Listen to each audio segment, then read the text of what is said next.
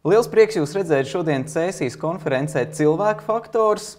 Bet nu, jāteic, ka jūsu lekcija par nodarbināmību tehnoloģiju laikmetā ļoti iespējams, ka cilvēkus un klausītājus mazliet tā, tā sabaidīja.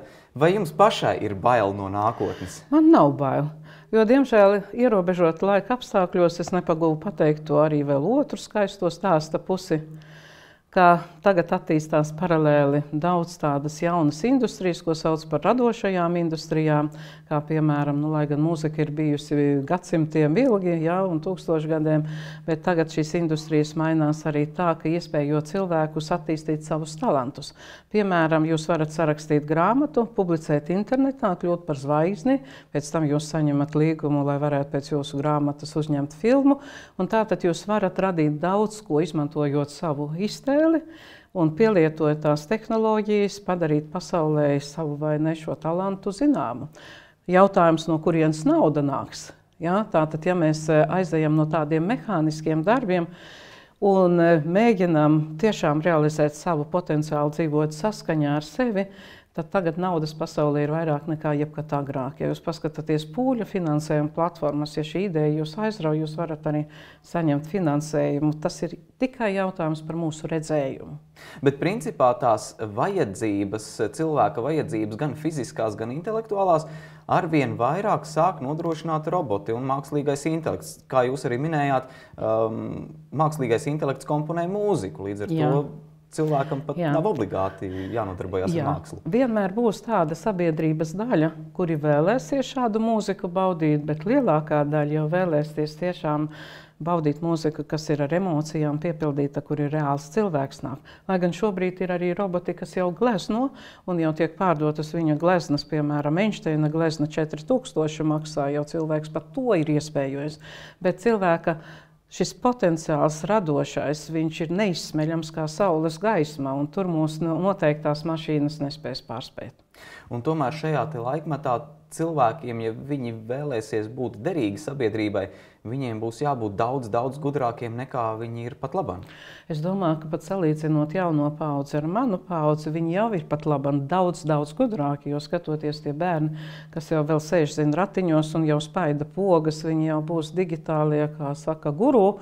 Bet ne viss jau, protams, notiek tikai ap šīm tehnoloģijām. Daudzas profesijas, kas prasa vēl joprojām cilvēka fizisku klātbūtni, jo gan jāpaveic tādi darbi, lai gan Es domāju, pie friziera aiziet mums labāk pateiktu, ja ar cilvēku mēs komunicētu nevis ar robotu, lai gan eh, Japānā jau ir robots ar 24 pirkstiem, kas vai nespēja noteikt jūsu matu struktūru un matus izmazgāt. Bet mēs vai ne sevi varam iespējot ar to, ka varam radīt ar vien jaunas uh, lietas, uh, izmantojot robotus, bet, protams, arī šo ziņkārību, zinātkāri mums neviens nevar atņemt, lai mēs uzdotu robotiem darīt vēl jaunas lietas. Jūs arī pieminējāt to jautājumu, no kurienes nāks nauda. Uh, faktiski, ja mēs šobrīd paskatāmies uz ekonomiku, tad saražots jau pat labam tiek vairāk nekā mums patiesībā ir vajadzīgs. Jā. Līdz ar to nu, Kā tad mēs nākotnē dzīvosim? Vai būs tas modelis, kad mēs darīsim, ko mēs gribam, un būs kāds robotu nodoklis, un mums vienkārši ienāks kontā nauda Jā. par to, ka mēs esam? Par to, ka esam noteikti, par to jau tagad debatē par šo robota nodokli. Jo nepieminēju arī, ka Šveicē jau notika referendums.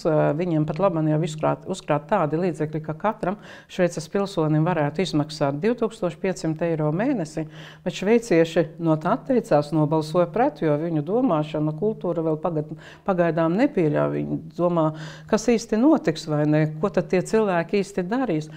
Tur ir tā problēma, ka mūsu izglītības sistēma ir radījusi cilvēkus, kas domāti vairāk ražošanai, arī tādiem mehāniskiem darbiem, kurus var paveikt roboti, bet mums ir jāmaina šī izglītības sistēma, kas iespējo cilvēku talantus, lai mēs vai ne mācoties zināt, ka mums ir ne tikai galva, loģiskā faktu analīze, atcerēšanās, bet mums ir arī rokas, kājas un citas ķermeņa daļas, kas spēj vai ne radīt fantastiskas lietas un apmierināt eh, mūsu vajadzības. Vai jums ir atbilde, kā šos cilvēkus nu, mudināt un iemācīt pielāgoties šim laikam? Nu, ir divas teiksim, tā, kategorijas. Viena ir tie zinātnē, kas visu laiku aktīvi mācās, bet nu, tad būsim godīgi, ir arī tā cilvēku kategorija, kuri jau pat labāk nespēja pielāgoties tam laikmetam, un nākotnē viņiem būs arvien grūtāk. Tā ir tiesa. Tādi cilvēki ir mums visapkārt. Gan vai ne slimi cilvēki, gan tādā nozīmē, ka alkoholiķi un tie, kas ne nav varbūt dzīvē iemācījušies tādu patieso vērtību sistēmu, ko nozīmē cilvēks paļaujas vairāk uz citu atbalstu, palīdzību. Jā, tādi cilvēki paliks. Un tāpēc te ir tas jautājums, lai viņi nebūtu galīgi izstumti no sabiedrības un mēs neatgrieztos atkal pie tādas zakšanas ēras, kā bija viduslaikos, kad cilvēkiem nebija ko ēst. Tāpēc, nu, sadarbojoties, mums vajag mainīt to modeli, lai tādu cilvēku būtu mazāk. Un to Somija ļoti labi dara, ka viņiem skolās ir nu, tāda pieeja, ka neviens netiek atstāts novārtā, ka viņiem jau no bērnības ir tiek eh, sniegta palīdzība, atbalsts, individuāls atbalsts. Ja viņš netiek līdzi vidējiem klases eh, attīstības līmenim, tad ar viņu strādā individuāli, lai viņš tomēr tiek sagatavots šai dzīvē mainīgajā pasaulē. Tātad mums nākotnē, kā sabiedrībai, būs jābūt eh, vairāk iejūtīgai un saprotošai pret citiem cilvēkiem. Un arī vairāk mums viens otru jāatbalsta, vairāk jāsadarbojas kopā. Mm Protams, jaunas problēmas nekur vai ne viņas neizdzidīs, gan, piemēram, klimata izmaiņas, gan jaunie slimību izraisītāji. Mēs redzam arī terorismu. Šodien es negribēju pieskarties šīm lietām, gan kiberdrošības izaicinājumi. Mums būs ko darīt. Vienīgi tam fokusam ir jābūt uz to, lai radītu cilvēkam to labjūtību, lai viņš justos labi. Jo labklājība vien nenodrošina labjūtību, labu sajūtu. Mums ir vajadzīga gan zaļa vide, ekoloģija, mums vajadzīga gan labs transports, infrastruktūra, gan laba izglītības sistēma, gan arī savstarpējā cieņa un tolerance. Un tāda sabiedrība ir jāveido balstoties uz to, ka daudzas lietas var paveikt roboti, bet mums ir jāredz tālāk un jāsaprot, kādus uzdevumus tad uzdot šiem robotiem lai pasauli padarītu labāku. Paldies jums par sarunu! Paldies jums!